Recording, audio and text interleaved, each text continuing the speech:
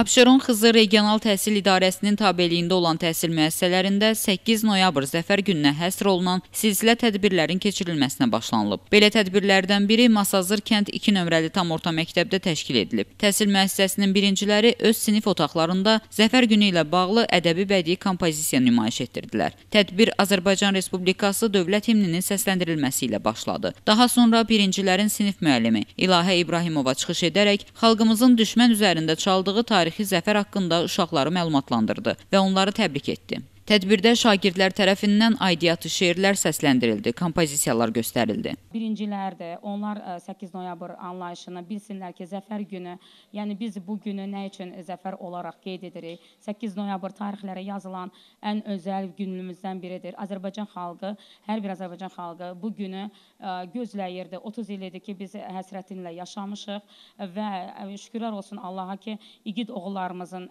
qəhrəmanlığı nəticəsində və ali baş komandamız komandamız İlham Əliyev cənablarının gözəl apardığı mükəmməl siyasətin nəticəsində biz e, bu tarixi günü tarixlərə qeyd etdik və biz həqiqətən də uşaqlara aşılamaqda məqsədimiz odur ki, onlar düşmənini, dostunu tanısınlar, bilsinlər və onlar da əsl Azərbaycan övladı kimi yetişsinlər, vətənpərvər ruhda böyüsünlər. Qeyd edək ki, rəşadətli Azərbaycan ordusu günü-gündən inkişaf edir, qüdrətlənir, mükəmməlləşir. Ali Baş Komandan İlham Əliyevin uzun illər apardığı məqsədyönlü siyasətin və uğurlu ordu quruculuğu prosesinin nəticəsidir ki, bu gün ordumuz dünyanın 50 ən güclü orduları sırasında özünə layiqli yer tutub. 2020-ci ilin sentyabrın 27-si Ermənistan silahlı birləşmələrinin növbəti təxribatlarına cavab olaraq başlayan əks-hücum əməliyyatı nəticəsində qazanılan zəfər bunun əyani sübutudur. 44 gün davam edən Vətən müharibəsi zamanı əzəli torpaqlarımız nəhayət ki, mənfur düşmən işğalından azad edildi. Haqq savaşımızda qələbə qazanan igid döyüşçülərimiz dövlətçilik tariximizin yeni zəfər zəfər dolu şanlı səhifəsini yazdılar.